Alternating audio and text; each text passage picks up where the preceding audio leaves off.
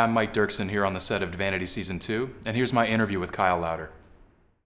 So, Kyle, tell me, what has it been like doing a web soap?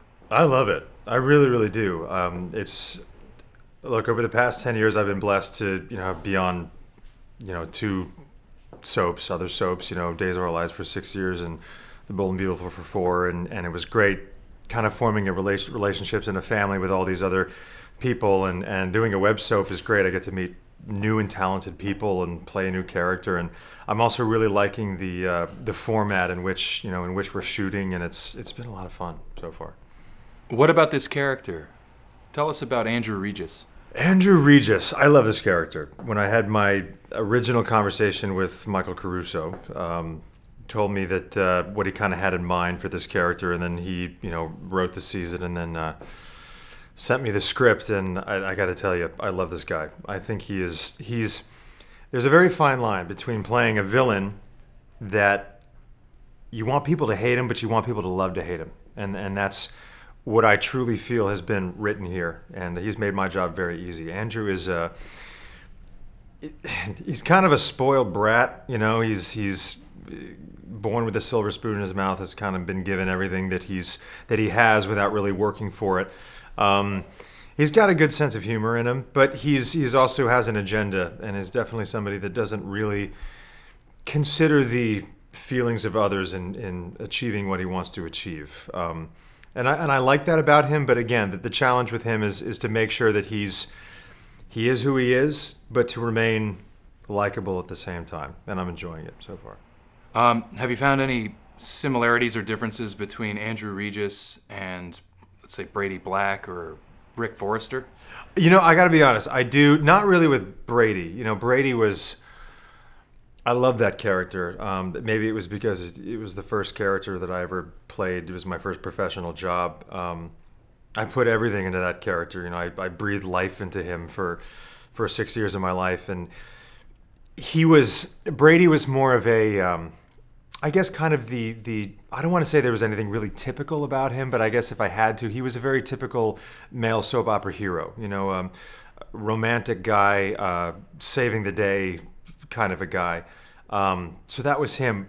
Rick actually has um, or had when I played him some a lot of similarities actually to Andrew. Rick, same thing. He was kind of a spoiled brat at times. Um, you know, born into a very wealthy, you know, fashion mogul family. Um, didn't really have to pound the pavement to get the, the money and the status and the job that he had. And, and from there, just kind of maybe had that lack of appreciation for what he had and, and formed kind of a, an edge on his, on his agendas, kind of marching over people to get what he, what he wanted. Um, you know, Rick definitely did have a softer side to him, um, but with everything I just mentioned, that's kind of the parallel that I could draw between you know the time that I played Rick and then what Andrew Regis is all about. Getting back to, Divinity real quick, how does working on this show compare to working on a network soap opera? Well, network soap opera is entirely different from this. They're, they're they believe it or not, they're, they're very different animals. I mean, network soap opera, um, humongous soundstage, very or two. You know, Days of Our Lives shot on two. Uh, many of them do actually.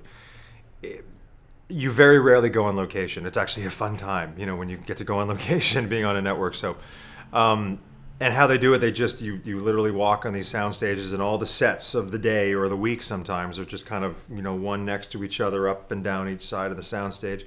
It's a three, sometimes four camera setup, huge booms on dollies. You know, it, it's it's they're made to be well-oiled machines because um, you shoot these 100 pages a day. Um, so you know you and it's a very I mean I guess what I'm saying is this is more of more of like a prime time television maybe even a film setup. Single camera. Um, you do a scene you know you have the luxury of time more or less to be able to to do as many takes as you as you can to, to get the essence out of a scene or everything that you want to get out of the scene that, that you can. Um, and then of course with the single camera you have to do many different angles. Um, I like this setup. I think any actor would like this particular setup because you have a chance by the end of that sometimes hour just for maybe 3 pages of dialogue, you've really had a chance again to, to kind of catch the essence of the scene and, and what you wanted to accomplish. Whereas you go back to network soap, it's like dress rehearsal, you know, or camera block it, then dress rehearsal sometimes, and then and then you roll tape. And if you're able to, you know, and then it's just, um, you know, get everything out you can, do as, as well as you can in the scene. If you if you capture what you wanted to capture and the scene is great, you got to go. You got to move on. And uh, so I like both of them. I both both setups. I really do. I really don't know if I prefer one over the other. Um, but uh, again, two very different animals. But this is at the end of the day, this is this is a good time. So what are you working on these days? It's interesting, actually. I uh, you know I just wrapped a, a four-year contract run on, on the Bold and Beautiful. I, I love my time there. I I miss you guys if any of you are watching this. Um, but it's kind of it's it's it's prompted me to to really think about what I want to do, you know, at, in my career in terms of different projects. You know, like I said before, I you know I spent you know the better half of, of 11 years working and that's been wonderful you know with, with days of our lives and then right into the bold and the beautiful. And i i want this opportunity now to kind of maybe see what i can do you know as an actor. I want to play i mean we're talking two characters in, in 11 years and i don't want to give the impression that that's that's a negative or a bad thing at all. I think it's just more of a I think any actor would agree with me that you know you we do this because we want to explore many different types of characters and, and the full spectrum of, of human emotions and characters from all walks of life. And, and so I'm really looking forward to you know to exploring as many different kinds of characters and as many projects as I can right now. And then and also I'd, I'd be lying if I said I didn't you know there wasn't this kind of this pull for me to get back into musical theater again because I, I, grew up in New York. I grew up watching musical theater. I, I trained for it for my limited time at uh, at Syracuse University, and uh, I I really haven't had, and I did it a lot, you know, back in back in the day. But I really haven't had the luxury of time to really explore that and or, or much less book a show and then do one you know what i mean i just haven't had that that time to do that so this is a great I look at it as it's different because I'm not like nose of the grindstone, you know, working like I have been. But at the same time, it's a great, you know, exploring process right now of, of, of and challenging myself. You know, what am I capable of, and what what can I do? So, are we going to get you back for season three? Uh, that's all up to um, you know the powers that be on Divinity. We'll see. You know, if if you know, we'll see what happens. I hope I'm not you know nothing fatal happens to me at the end of this season. But even then, you know, you can always come back. Exactly.